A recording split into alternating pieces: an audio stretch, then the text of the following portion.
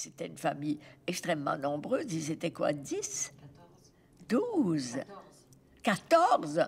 Ah, mon Dieu, vous m'ouvrez des horizons, là.